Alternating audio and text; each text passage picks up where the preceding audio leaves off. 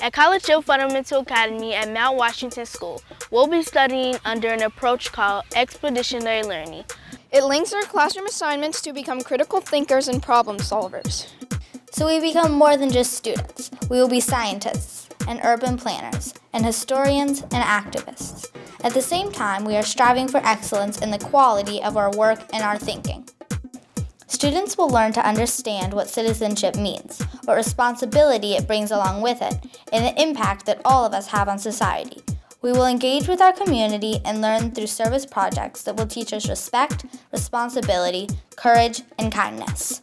Expeditionary learning is based on 10 proven principles that teach us how to interact with our world. Students learn best by doing, exploring, creating, and working together. That's our game plan for this school year.